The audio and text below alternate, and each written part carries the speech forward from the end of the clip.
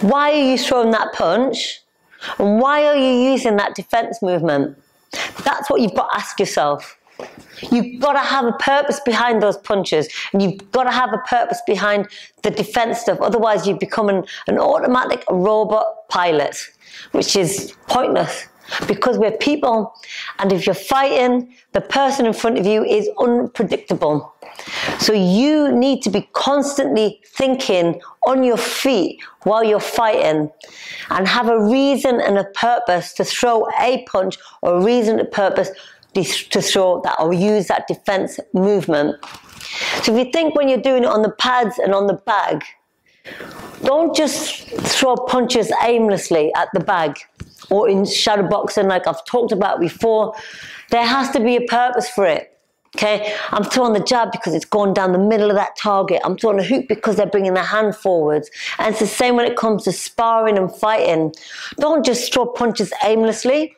Watch, my eyes are on you the whole time. I'm going to throw a hook because you're open for the hook. Not because I just want to throw the hook. I want to throw a straight shot down the middle because you're open for that straight shot down the middle. I want to throw that body shot because your body is wide open. Think about why you're throwing the shot. Think about combinations that will work. And if that combination is not working when you're sparring, then adapt it. You might throw a jab cross roll underneath and you had planned throwing a cross back, but actually you might then realize that that left hook has become available because they've dropped their hand, their right hand down, and then you might want to lamp that that hook through instead of the planned cross.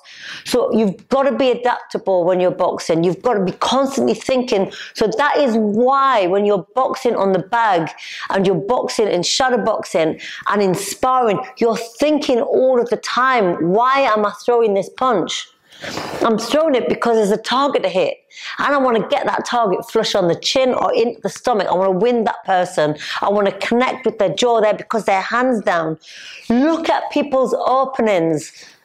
If they've got their hands up like this, hit them in the body. If they've got their hands like that, like that, this is where you want to get it. If you've got the hand like that, this is where you want to hit it. If they've got a wide guard where you can punch through the middle, punch through the middle.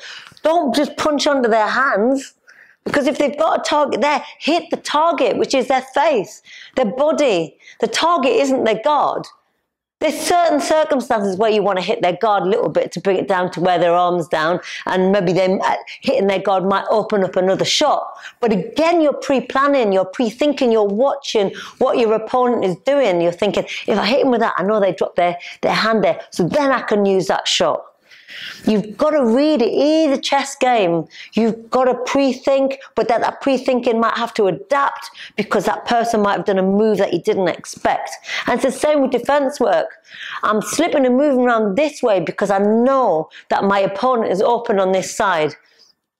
Okay, I know that I need to get them by the ropes, so I need to slip or roll and move around to this side to get you against the ropes. And then once I've got you by the ropes, I'm going to keep you there. And I'm going to use my slips so you can't hurt me and you can't catch me with that punch, but I can come back with a counter punch. There's a reason for everything in boxing.